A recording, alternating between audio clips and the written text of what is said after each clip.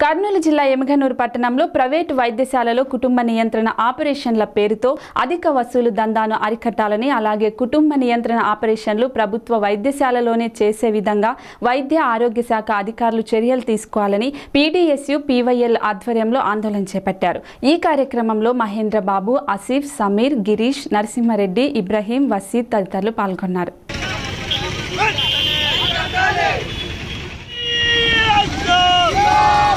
అరికట్టాలి ప్రైవేట్ వైద్యాల కుటుంబ నియంత్రణ వెంటనే అరికట్టాలి ప్రైవేట్ వైద్యాలు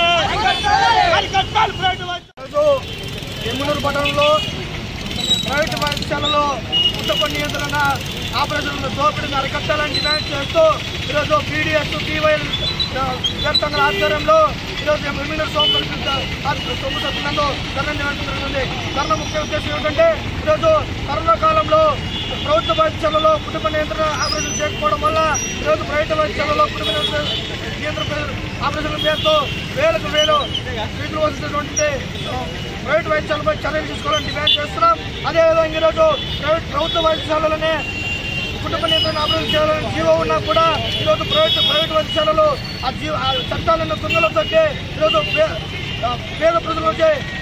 వేలకు వేలు నిధులు వసూలు చేస్తున్నారు. కాబట్టి మేము ఒకటే కోరుతున్నాం. తక్షణమే అలాంటి ఆ చర్యలు తీసుకోవాలి లేని పక్షంలో ప్రత్యక్షంగా ఆ వైద్యశాలల ముందు ఆందోళన ఆందోళన కార్యక్రమం చేపడతామని హెచ్చరిస్తున్నాం. నా పేరు మహేంద్ర బాబు పీడిఎస్ సంఘం జిల్లా అధ్యక్షుడు జిల్లా ఉపాధ్యక్షుడు